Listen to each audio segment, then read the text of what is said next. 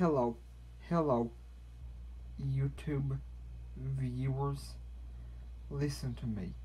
I advise you on a regular basis. Read Matthew 6, 7, and 22 with First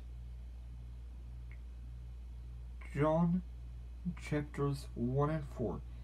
I repeat, I repeat, after you read Matthew 6, 7, and 22, read First John chapters 1 and 4.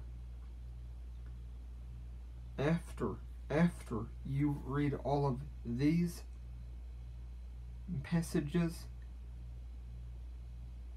ask ask the Lord to make you want to always do what he wants you to do and what his and what his word says we should do.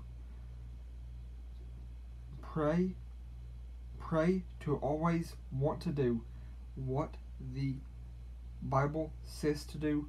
And also like I just said pray to always want to do what the Lord tells us to do in every other way.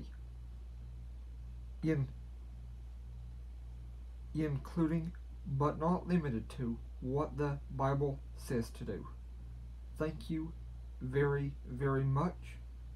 Please like share please like share and subscribe and let me know if this helps you in the comments below